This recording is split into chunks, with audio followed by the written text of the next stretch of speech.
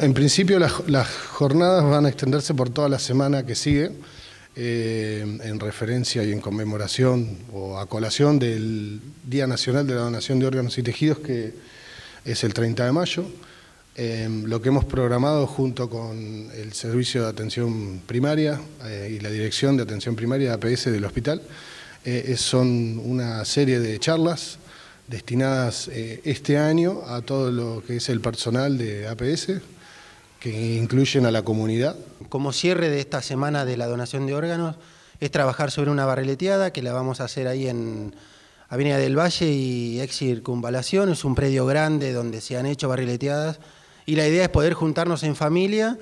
y sobre todo agradecer a las personas donantes y a sus familias que lo dieron para que mucha gente pudiera vivir. Eh, a partir de la ley Justina, fundamentalmente lo que ha cambiado si bien han cambiado un montón de cuestiones técnicas, como por ejemplo nuevos protocolos en los diagnósticos de muerte, eh, nuevas obligaciones de parte de las instituciones en pos de incorporar la procuración de órganos y tejidos como una actividad asistencial más de cada una de ellas.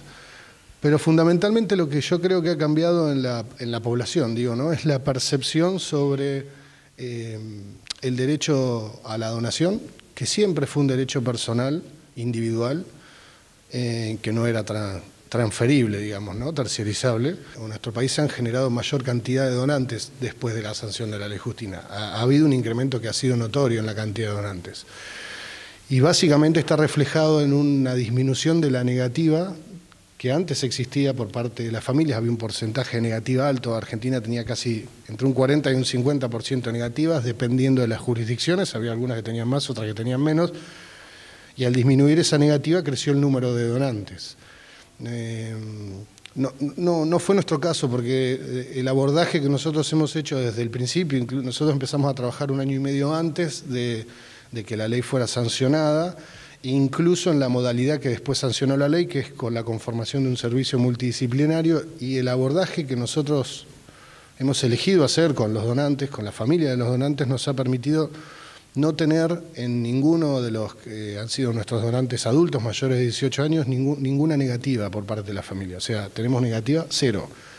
Eh, después hemos tenido eh, eh, dos negativas en, en el resto de los procesos, pero que han sido menores, con lo cual la familia intervenía porque la ley sigue diciendo que en los menores de edad